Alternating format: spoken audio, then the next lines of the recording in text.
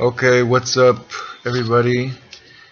We are finally doing a video that has been long overdue and people have been waiting on for needs, MBK needs for projects that we have currently going on. A couple that we are waiting to try and start up and then a couple personal needs of members of our staff here which we're about I think there's about eight or nine of us now working on a regular daily basis and most of them work for about 25 bucks a week which is just enough to buy some food for their family.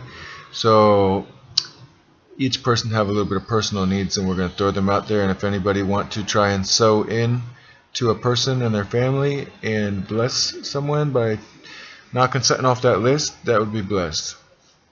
For our farming projects we're always looking for seeds seeds to plant um, really trying to see if we can get one or two weed whackers. We got a couple really big plots of land. We chop everything by hand with machete. It's a long, um, time-consuming process. And if we can get a weed whacker or two, even if they're used, um, that would help save a lot of time. And at the same time, a shrub trimmer would be pretty cool. We're starting to try and do a garden and botanical garden and, and park and there's gonna be a lot of ornamental stuff if we can eventually come across a shrub trimmer. That would be awesome too. And also on that end if you've ever seen like in nurseries they have this black netting that basically blocks out a good portion of the sun but lets some of the sun still pass through it. We're trying to start a nursery for a lot of our starter plants and looking if we can get some of that netted material donated.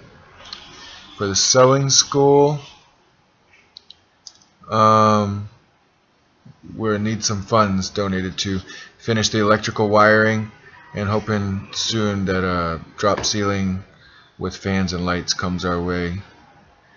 School, we had a project plan to go in there and to resurface all the blackboards, but it turns out that they don't use the blackboards now because for a couple different reasons and they use whiteboards and the whiteboards are old and rotten and fall apart. So we need to replace the Formica and plywood for the whiteboards. So if anybody wants to pitch in money towards any of these things, that would be a blessing. Um, always collecting school supplies and for the prison ministry and for the high schoolers, Bibles, always collecting Bibles. And obviously prison ministry, hygiene products, any books, now, I used to hate because people would donate all kinds of English books, and I didn't have nothing to do with them because people here don't read English. But in the prisons, there are quite a few people that speak English. So, books and stuff, and then clothes. Skateboards, skateboards, completes, or just decks, wheels, trucks, whatever. Got a growing skate crowd here, and uh, just got somebody sending two decks recently. So if you got skateboards laying around anywhere, you know where you can get some. Collect them sports, volleyball stuff, and soccer stuff. We got a volleyball project about to go off here, and the girls are going to start learning how to play volleyball. And yeah, basically money we need for buying different things. That's always individual needs. Jackie and Jamie, which are our accountant, finances department, public relations, twins. You probably see them in a lot of pictures. Um, both of their parents passed away within a year just uh, not too long ago and they're living in a house just a bunch of sisters. And uh, so basic needs like food is a big issue for them. So always looking for people who would be willing to support or sponsor the people that work for us because we are a group of missionaries. Some sandals basic hygiene products. Um, I know that they have a specific charger and battery they need for a laptop. They got a good laptop, but they got to give me the make and model so we can get that and they can use it. Jamie is looking for a sponsor to sponsor her for English classes. It wouldn't be a lot of money, but she's lived in the States twice and she speaks some English. And for public relations, that would come in really handy as far as dealing with groups, um, tourist groups and mission groups that come down here for it. And she's been begging me for like over a year for that to find her a sponsor that would help her get English classes. Um, basically, clap for Alex and his kids.